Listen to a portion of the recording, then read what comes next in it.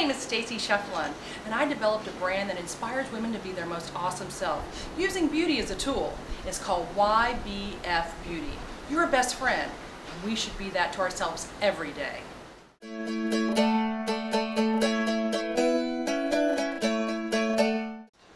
I started YBF with my team 15 years ago. It's been an amazing journey, and I've changed a lot along the way. We all do. And that's part of the transformation of running a business day to day because everything from packing, wrapping, strapping, and driving the semi, driving the forklift, labeling product, all the way from concept to completion, our team does it all and we do it as a team. But what is so important that made me feel like after 20 years of being an international Ford model that I could step out and say, hey, I think I'm going to try that business thing. It was other women telling me I could do it. I think that's the most important thing, is for us as women to have mentors that take us through the journey. And it's a long journey. 14 hour days are nothing. That's, that's minor.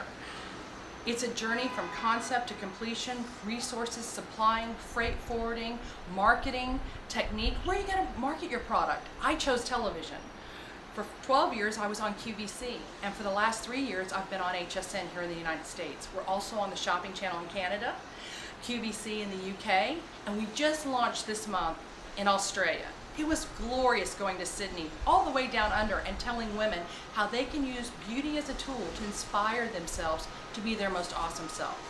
I think if you start with a, your goals, knowing that you're going to give it a long-term vision, but have short-term determination, anything you do about organizing time and resources will make the most out of your business and your life.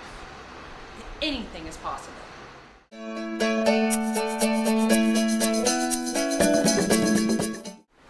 I think when people ask me what's the most important strength in running a business, I would say they're interweaved between life and business. And they're non-negotiable. Just to let you know, these things don't change.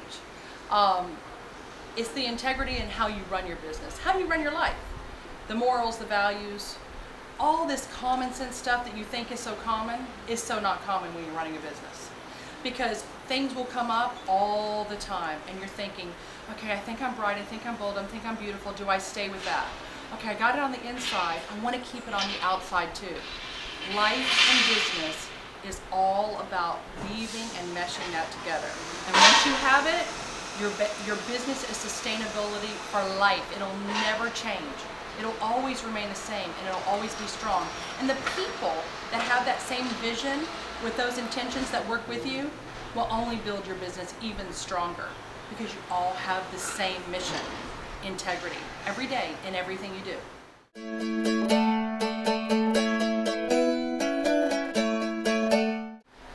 We can all get advice, and it's what you pay for it. Sometimes it's free advice and we don't always want to listen. But I can tell you, if you really want growth and sustainability with your business, the best way to have it is to have big dreams.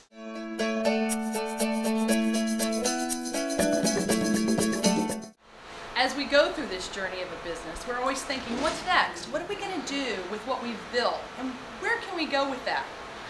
I would love to have a radio show. I would die to have a radio show. I've been on television, live TV for 15 years in 150 million households around the world.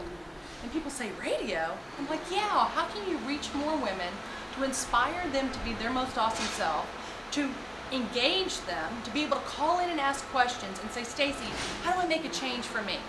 And in my life, what's next for me? I have the most amazing husband who's the best support any woman could ever have. I love you, David and two amazing daughters who have always been giving, stayed grounded, been humble. They're 15 and 10.